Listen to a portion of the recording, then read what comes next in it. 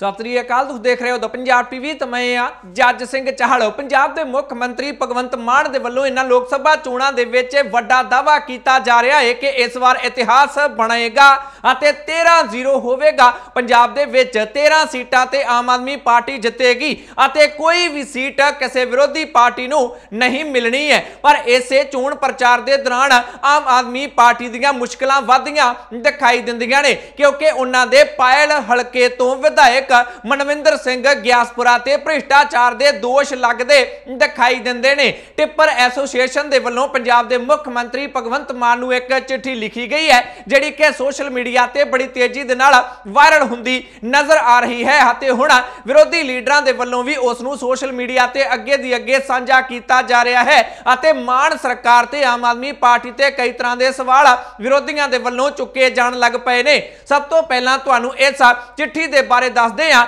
ਜਿਸ ਨੇ ਕਿ ਆਮ ਆਦਮੀ ਪਾਰਟੀ ਦੇ ਵਿਧਾਇਕ ਨੂੰ ਆਮ ਆਦਮੀ ਪਾਰਟੀ ਨੂੰ ਇਸ ਮੁੱਦੇ ਤੇ ਫਸਾ ਕੇ ਰੱਖ ਦਿੱਤਾ ਹੈ ਇਹ ਚਿੱਠੀ ਦੇ ਵਿੱਚ ਲਿਖਿਆ ਗਿਆ ਹੈ ਕਿ ਮੁੱਖ ਮੰਤਰੀ ਪੰਜਾਬ, ਮੁੱਖ ਮੰਤਰੀ ਪੰਜਾਬ ਨੂੰ ਇਹ ਚਿੱਠੀ ਲਿਖੀ ਗਈ ਹੈ। ਵਿਸ਼ਾ ਰੱਖਿਆ ਗਿਆ ਹੈ ਐਮਐਲਏ ਮਨਵਿੰਦਰ ਸਿੰਘ ਗਿਆਸਪੁਰਾ ਹਲਕਾ ਪਾਇਲ ਜ਼ਿਲ੍ਹਾ ਲੁਧਿਆਣਾ ਵੱਲੋਂ ਤੰਗ ਪਰੇਸ਼ਾਨ ਕਰਨ ਸੰਬੰਧੀ। ਟਿੱਪਰ ਐਸੋਸੀਏਸ਼ਨ ਦੇ ਵੱਲੋਂ ਇਹ ਲਿਖੀ ਗਈ ਹੈ ਚਿੱਠੀ ਮੁੱਖ ਮੰਤਰੀ ਪੰਜਾਬ ਭਗਵੰਤ ਮਾਨ ਨੂੰ ਅਤੇ ਵਿਸ਼ਾ ਰੱਖਿਆ ਗਿਆ ਹੈ ਕਿ ਆਮ ਆਦਮੀ ਪਾਰਟੀ ਦਾ ਵਿਧਾਇਕ ਮਨਵਿੰਦਰ ਗਿਆਸਪੁਰਾ ਸਾਨੂੰ ਤੰਗ ਕਰਦਾ ਹੈ ਉਹਨਾਂ ਨੇ ਆਪਣੀ ਚਿੱਠੀ ਦੇ ਵਿੱਚ ਸਿੱਧਾ ਸਿੱਧਾ ਲਿਖਿਆ ਕਿ ਅਸੀਂ ਟਿੱਪਰ ਐਸੋਸੀਏਸ਼ਨ ਸਾਨੇਵਾਲ ਤਹਿਸੀਲ ਜ਼ਿਲ੍ਹਾ ਲੁਧਿਆਣਾ ਦੇ ਰਹਿਣ ਵਾਲੇ ਹਾਂ। ਅਸੀਂ ਮਿੱਟੀ ਪੁੱਟਣ ਦਾ ਕਾਰੋਬਾਰ ਕਰਦੇ ਹਾਂ। ਜ਼ਮੀਨ ਮਾਲਕ ਤੋਂ ਅਸੀਂ 3 ਫੁੱਟ ਮਿੱਟੀ ਮੁੱਲ ਲੈਂਦੇ ਹਾਂ ਅਤੇ ਘਰ ਵਿੱਚ ਭਰਤ ਪਾ ਕੇ ਕਾਰੋਬਾਰ ਕਰਦੇ ਹਾਂ। ਪਾਲਿਸੀ ਨਾ ਹੋਣ ਕਰਕੇ ਮਨਜ਼ੂਰੀ ਸਾਨੂੰ ਮਿਲਦੀ ਨਹੀਂ। ਉਸ ਦੀ ਆੜ ਵਿੱਚ ਉਕਤ ਵਿਅਕਤੀ ਐਮਐਲਏ ਮਨਵਿੰਦਰ ਸਿੰਘ ਗਿਆਸਪੁਰਾ ਅਤੇ ਇਸ ਦਾ ਡਰਾਈਵਰ ਗੁਰਜਿੰਦਰ ਸਿੰਘ ਨਿੱਕਾ ਅਤੇ ਏਪੀ ਜੱਲਾ ਸਾਡੇ ਪਾਸੋਂ 1.5 ਲੱਖ ਰੁਪਏ ਪ੍ਰਤੀ ਕਿੱਲੇ ਦੇ ਹਿਸਾਬ ਨਾਲ ਰਿਸ਼ਵਤ ਲੈਂਦੇ ਹਨ।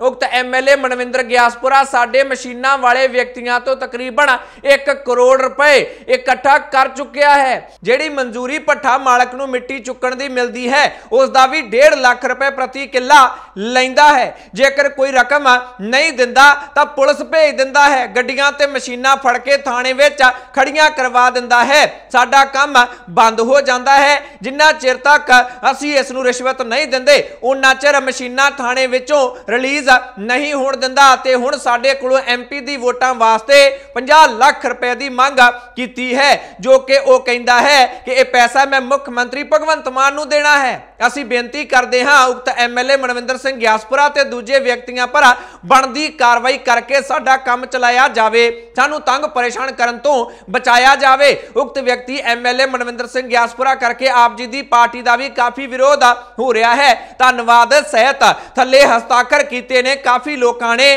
ਅਤੇ ਨਾਲ ਆਪਣੇ ਫੋਨ ਨੰਬਰ ਵੀ ਦਿੱਤੇ ਨੇ। ਸਿੱਧਾ ਸਿੱਧਾ ਹੀ ਚਿੱਠੀ ਦੇ ਵਿੱਚ ਕਈ ਵਾਰ ਆਪ ਵਿਧਾਇਕ ਮਨਵਿੰਦਰ ਸਿੰਘ ਗਿਆਸਪੁਰਾ ਦਾ ਨਾਮ ਇਹਨਾਂ ਲੋਕ ਲੋਕਾਂ ਨੇ ਲਿਖ ਦਿੱਤਾ ਹੈ ਅਤੇ ਇੱਥੋਂ ਤੱਕ ਦਾਵਾ ਕਰ ਦਿੱਤਾ ਹੈ ਕਿ ਚੋਣਾਂ ਦੇ ਲਈ 50 ਲੱਖ ਰੁਪਈਆ ਮੰਗ ਰਿਹਾ ਹੈ ਤੁਹਾਡਾ ਐਮਐਲਏ ਅਤੇ ਆਖ ਰਿਹਾ ਹੈ ਕਿ ਇਹ 50 ਲੱਖ ਰੁਪਈਆ ਮੈਂ ਮੁੱਖ ਮੰਤਰੀ ਭਗਵੰਤ ਮਾਨ ਨੂੰ ਦੇਣਾ ਹੈ, ਜਿਸ ਕਰਕੇ ਤੁਹਾਡਾ ਵੀ ਵਿਰੋਧ, ਤੁਹਾਡੀ ਪਾਰਟੀ ਦਾ ਵੀ ਵਿਰੋਧ ਹੋ ਰਿਹਾ ਹੈ। ਇਸ ਐਮਐਲਏ ਤੇ ਕਾਰਵਾਈ ਕਰੋ, ਸਾਨੂੰ ਇਸ ਤੋਂ ਬਚਾਓ। ਇਹ ਚਿੱਠੀ ਦੇ ਵਿੱਚ ਸਾਰਾ ਕੁਝ ਇਹਨਾਂ ਲੋਕਾਂ ਦੇ ਵੱਲੋਂ ਲਿਖਿਆ ਗਿਆ। ਹੁਣ ਜਦੋਂ ਸਿੱਧੇ ਸਿੱਧੇ ਇਲਜ਼ਾਮ ਆਪ ਦੇ ਵਿਧਾਇਕ ਤੇ ਉਹ ਵੀ ਇੰਨੇ ਗੰਭੀਰ ਲੱਗ ਗਏ ਕਿ 1 ਕਰੋੜ ਰੁਪਇਆ ਤਾਂ ਇਕੱਠਾ ਕਰ ਹੀ ਚੁੱਕਿਆ ਹੈ 1.5 ਲੱਖ ਰੁਪਏ ਪ੍ਰਤੀ ਕਿੱਲਾ ਸਾਡੇ ਤੋਂ ਹੋਰ ਮੰਗਦਾ ਹੈ। 50 ਲੱਖ ਰੁਪਈਆ ਚੋਣਾਂ ਲਈ ਵੀ ਮੰਗ ਰਿਹਾ ਕਹਿੰਦਾ, ਭਗਵੰਤ ਮਾਨ ਨੂੰ ਦੇਣਾ ਹੈ। ਤਾਂ ਫਿਰ ਵਿਰੋਧੀ ਪਾਰਟੀਆਂ ਚੁੱਪ ਕਿਵੇਂ ਰਹਿਣਗੀਆਂ? ਉਹਨਾਂ ਨੂੰ ਤਾਂ ਬਹੁਤ ਵੱਡਾ ਭ੍ਰਿਸ਼ਟਾਚਾਰ ਦਾ ਮੁੱਦਾ ਮਿਲ ਗਿਆ, ਗੁੰਡਾ ਟੈਕਸ ਦਾ ਮੁੱਦਾ ਮਿਲ ਗਿਆ ਹੈ, ਆਮ ਆਦਮੀ ਪਾਰਟੀ ਦੇ ਖਿਲਾਫ।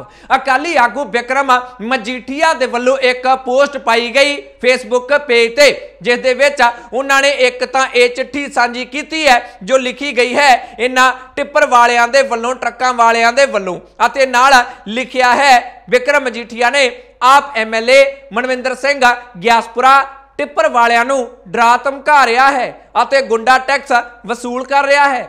ਗਿਆਸਪੁਰਾ ਦੇ ਖਿਲਾਫ ਕੇਸ ਦਰਜ ਕਰ ਸਖਤ ਕਾਰਵਾਈ ਕੀਤੀ ਜਾਵੇ। ਜੇਕਰ ਅਜਿਹਾ ਨਹੀਂ ਹੁੰਦਾ, ਤਾਂ ਇਸ ਦਾ ਮਤਲਬ ਸਾਫ਼ ਹੈ ਕਿ ਸਭ ਕੁਝ ਭਗਵੰਤ ਮਾਨ ਅਤੇ ਅਰਵਿੰਦ ਕੇਜਰੀਵਾਲ ਦੀ ਸ਼ੈ ਤੇ ਹੋ ਰਿਹਾ ਹੈ। ਵਿਕਰਮ ਮਜੀਠੀਆ ਨੇ ਤਾਂ ਇਲਜ਼ਾਮ ਪੰਜਾਬ ਦੇ ਮੁੱਖ ਮੰਤਰੀ ਤੇ ਵੀ ਲਾ ਦਿੱਤੇ ਨੇ ਕਿ ਜੇਕਰ ਕਾਰਵਾਈ ਨਾ ਕੀਤੀ ਗਈ, ਇਸ ਦਾ ਮਤਲਬ ਹੈ ਕਿ ਦੋਵਾਂ ਜਣਿਆਂ ਦੀ ਸ਼ਹਿ ਹੈ। ਦੋਵੇਂ ਜਣੇ ਕਿਹੜੇ? ਅਰਵਿੰਦ ਕੇਜਰੀਵਾਲ ਅਤੇ ਭਗਵੰਤ ਮਾਨ। ਕਾਰਵਾਈ ਕੀਤੀ ਜਾਣੀ ਚਾਹੀਦੀ ਹੈ। ਵਿਕਰਮ ਮਜੀਠੀਆ ਨੇ ਇਹ ਪੋਸਟ ਪਾਈ। ਅਕਾਲੀ ਦਲ ਤੋਂ ਬਾਅਦ ਗੱਲ ਕਾਂਗਰਸ ਦੀ ਕਰੀਏ। ਕਾਂਗਰਸ ਦੇ ਜਲੰਧਰ ਕੈਂਟ ਤੋਂ ਵਿਧਾਇਕ ਨੇ ਪ੍ਰਗਟ ਸਿੰਘ।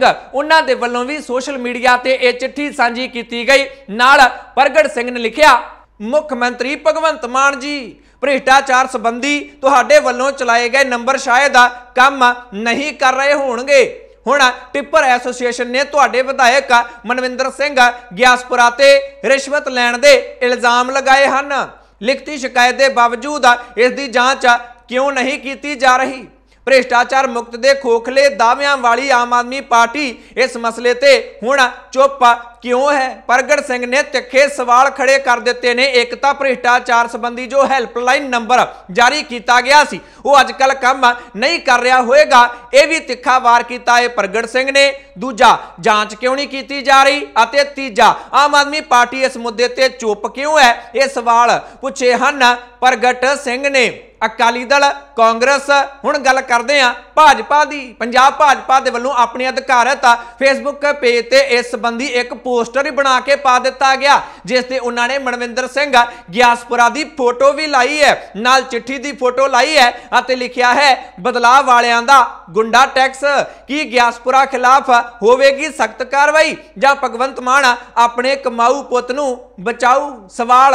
ਭਾਜਪਾ ਨੇ ਵੀ ਖੜਾ ਕਰ ਦਿੱਤਾ ਹੈ ਕਿ ਹੁਣ ਐਮਐਲਏ ਤੇ ਕਾਰਵਾਈ ਹੋਵੇਗੀ ਜਾਂ ਫਿਰ ਭਗਵੰਤ ਮਾਨ ਦੇ ਵੱਲੋਂ ਆਪਣੇ ਕਮਾਊ ਪੁੱਤ ਨੂੰ ਬਚਾਇਆ ਜਾਵੇਗਾ? ਕਮਾਊ ਪੁੱਤ ਆਖ ਦਿੱਤਾ ਹੈ ਭਗਵੰਤ ਮਾਨ ਦਾ ਮਨਵਿੰਦਰ ਗਿਆਸਪੁਰਾ ਨੂੰ ਭਾਰਤੀ ਜਨਤਾ ਪਾਰਟੀ ਨੇ। ਹੁਣ ਜਦੋਂ ਸਾਰਿਆਂ ਨੇ ਇਲਜ਼ਾਮ ਲਾ ਦਿੱਤੇ ਨੇ ਤਾਂ ਜਵਾਬ ਐਮਐਲਏ ਦੇ ਵੱਲੋਂ ਵੀ ਦੇ ਦਿੱਤਾ ਗਿਆ ਹੈ। ਉਹ ਕਾਫੀ ਅੱਗੇ ਵੱਧ ਗਏ ਨੇ ਜਵਾਬ ਦੇਣ ਲੱਗਿਆ। ਇੱਕ ਤਾਂ ਉਹਨਾਂ ਨੇ ਵਿਕਰਮ ਮਜੀਠੀਆ ਤੇ ਵਾਰ ਕੀਤੇ ਕਿ ਇਹ ਚਿੱਟੇ ਦਾ ਸੌਦਾਗਰ ਹੈ ਅਤੇ ਦੂਜਾ, ਉਹਨਾਂ ਨੇ ਆਖਿਆ, ਜਿੰਨਾ ਜਿੰਨਾ ਨੇ ਆਪਣੇ ਇੱਥੇ ਹਸਤਾਖਰ ਕੀਤੇ ਨੇ, ਫੋਨ ਨੰਬਰ ਲਿਖੇ ਨੇ, ਇਹਨਾਂ ਸਾਰਿਆਂ ਤੇ ਮੈਂ ਮਾਣਹਾਨੀ ਦਾ ਕੇਸ ਕਰਾਂਗਾ। ਦੇਖੋ, ਇੱਕ ਤਾਂ ਜਿਹਨੇ ਲੈਟਰ ਟਵੀਟ ਕੀਤਾ, ਉਹ ਨਸ਼ੇ ਦਾ ਸੌਦਾਗਰ ਹੈ। ਉਹਦੇ ਤੇ ਚਿੱਟੇ ਦੇ ਦੋਸ਼ ਲੱਗਦੇ ਰਹੇ ਆ, ਚਿੱਟਾ ਬਖਾਉਂਦਾ ਰਿਹਾ। ਪਰ ਉਹਦੇ ਲਈ ਵਾਰ ਵਾਰ ਅੱਜ ਵੀ ਤੁਸੀਂ ਦੇਖੋ ਕਿ ਉਹਨੂੰ ਈਡੀ ਬੁਲਾ ਰਹੀ ਹੈ।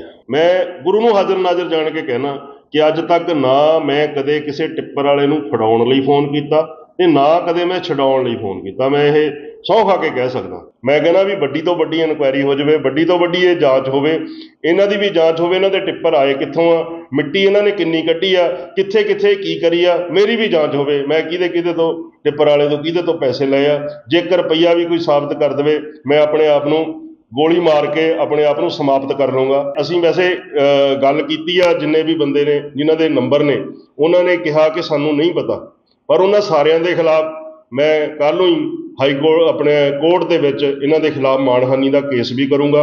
ਆਪਣੇ ਬਿਆਨ ਦੇ ਵਿੱਚ ਮਨਵਿੰਦਰ ਗਿਆਸਪੁਰਾ ਦੇ ਵੱਲੋਂ ਦੋ ਵੱਡੇ ਐਲਾਨ ਕਰ ਦਿੱਤੇ ਗਏ ਨੇ।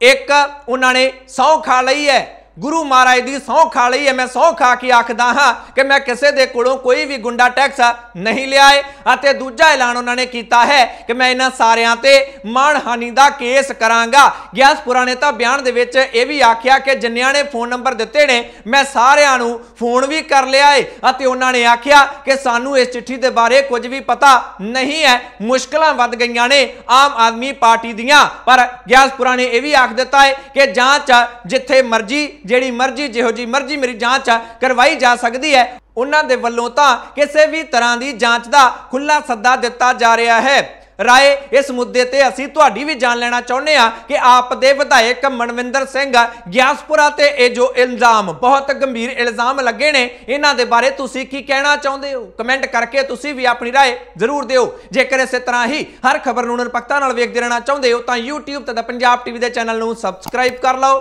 Facebook ਤੇ ਪੇਜ ਲਾਈਕ ਕਰ ਲਓ। ਮੈਂ ਜੱਜ ਸਿੰਘ ਚਾਹਲ ਅਗਲੀ ਵਾਰ ਫੇਰ ਹਾਜ਼ਰ ਹੋਵਾਂਗਾ। ਤੁਸੀਂ ਦੇਖਦੇ ਰਹੋ ਪੰਜਾਬ ਟੀਵੀ ਹਰ ਖਬਰ ਦਾ ਸੱਚ।